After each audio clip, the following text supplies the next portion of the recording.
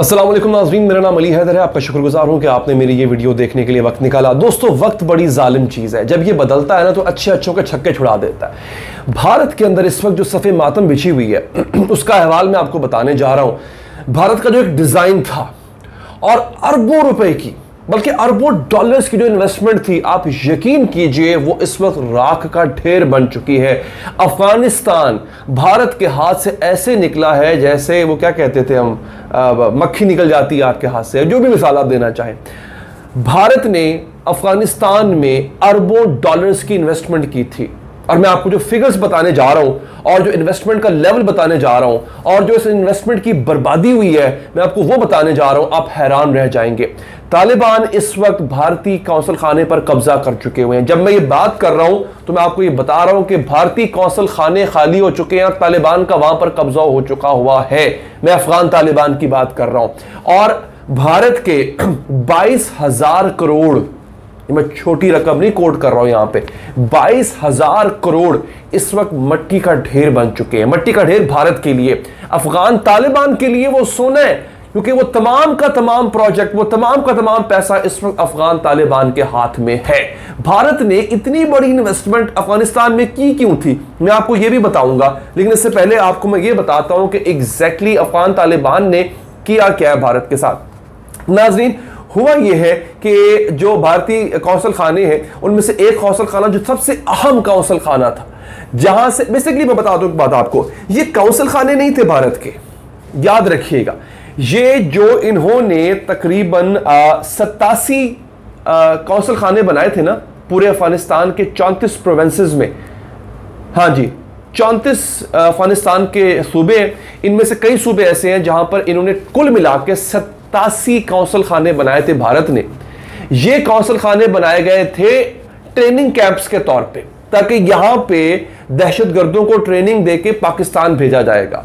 और आप याद, ये जरा याद रखिएगा कि पाकिस्तान का जो अफ़गानिस्तान से बॉर्डर मिलता है ड्यूरेंट लाइन, ये पूरे का पूरा बॉर्डर भारतीय कौंसल खानों से भरा हुआ था।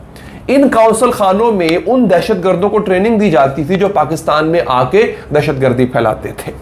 ये काउंसिल खाने अब भारत खाली करने पर मजबूर है। सबसे अहम काउंसिल खाना है कंधार का। कंधार का काउंसिल खाना भारतीय स्टाफ 50 के करीब यहाँ पे स्टाफ मौजूद था, सिक्योरिटी वाले मौजूद थे, इनकी बॉर्डर पुलिस मौजूद थी। इनका जहाज़ आता है भारत का, भारतीय एयरफोर्स का, वो आके इन तमाम के तमाम को ले जाता है। वजह क्या बनी? वजह यह बनी कि इनको इंटेलिजेंस मिली कि तालिबान ये पहुँचे खड़े हैं। तालिबान इस कौंसल खाने के करीब पहुँच चुके थे। और उससे पहले के तालिबान बाकायदा हमला करके इनके हाथ से ये कौंसल खाना लेते, इन्होंने अपनी जान बचाने में आफियत समझी। ये यहाँ से जिसे कहते हैं ना कि नौ दो ग्यारह हो गए और निकल गए। तालिबान ने उस कब्जा कर लिया, बल्कि वीडियो भी जारी कर दी। वो वीडियो इंटरनेट पर मौजूद भी है, जिसमें तालिबान ने इस कौंसल खाने पर कब्जा किया। अब फ़िलहाल बेसिकली भारतीय मीडिया और भारतीय जो ऑफिशियल्स हैं, वो तरदीद भी कर रहे हैं इसकी, कि नहीं, अभी भी हमारा कौंसल खाना ऑपरेट हो रहा है। तालिबान की तरफ़ से यह कहा जा रहा है कि नहीं, ये कौंसल खाना हमारे कब्जे में है। ठीक हो गया जी?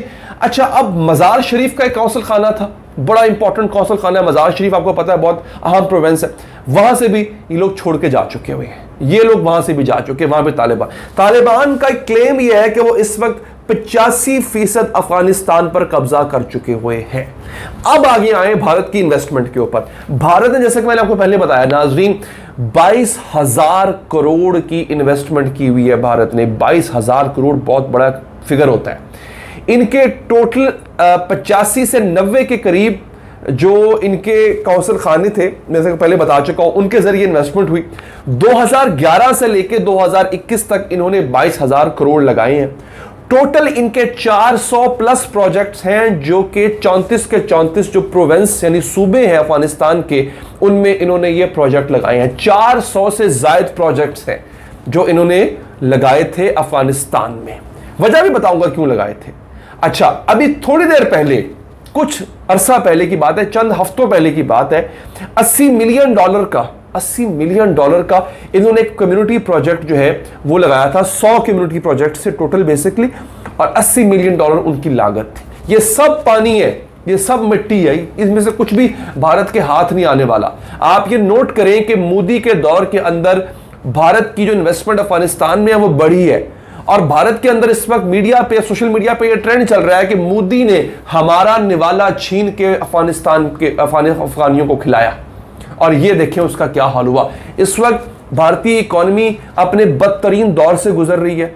इससे कबल के वहाँ पे पैसे खर्च किए जाते हैं। भारत ने मोदी ने वो पैसा उठा के अफ़गानिस्तान में लगाया। क्यों? पाकिस्तान को बर्बाद करने के लिए। लेकिन आपको पता है फिर अल्लाह की करनी होती है। अल्लाह ताला ने ऐसा सबक सिखाया वो सारी की सारी इन्वेस्टमेंट वो 10 साल की जो भारत की इन्वेस्टमेंट थी वो खाक हो गई। तालिबान अफ़गानिस्तान पे काबिज हो चुके हैं। तालिबान कभी भी भारत के दोस्त नहीं रहे। तालिबान कभी भी भारत को पसंद नहीं करते। वो भारतीय इन्वेस्टमेंट का अचार डालेंगे। वो कभी भी भारतीय इन्वेस्टमेंट को आ, एंटरटेन नहीं करेंगे। भारत ने नाजरीन, जैसे कि मैं आपको पहले बता चुका हूँ, इनकी स्ट्रेटजी क्या थी?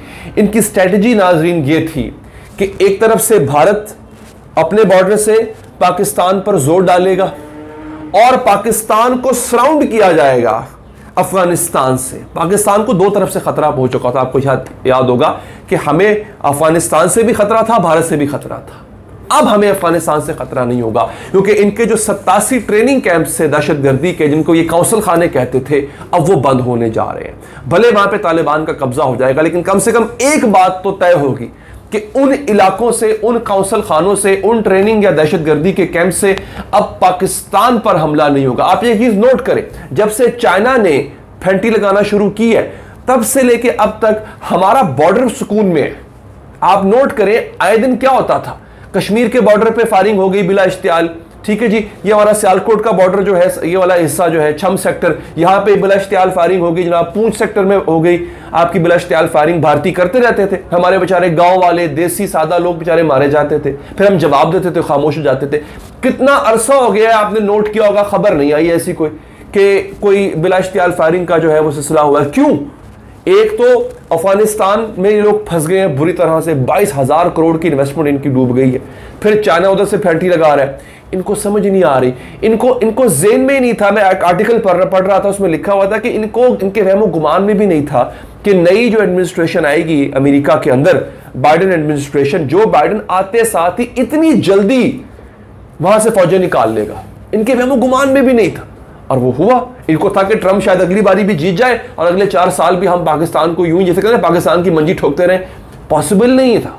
जो बाइडन आया, उसके जो भी गरज मकासद थे, वो एक लदा बात है। वो पाकिस्तान का वो भी दोस्त नहीं है, लेकिन उसने अपने मकसद के तहत वहाँ से निकाल लिया फौज को। अब निकालने के बाद भारत का ये हाल है, जो मैंने आपको बता दिया। मेरी बात और वीडियो पसंद आई हो लाइक कीजिए और एक काम ज़रूर कीजिए। अफ़गानिस्तान में होने वाली तब्दीलियों के हवाले से मैं आपको मुसलसल अपडेट देता रहूँगा, लेकिन उसके लिए आपको नाजरीन इस चैनल को सब्सक्राइब करना होगा, ताकि जैसे ही नई वीडियो इस हवाले से आए, आप तक अपडेट पहुँच जाए। मुझे दीजिए इजाज़त, अल्लाह के बाद।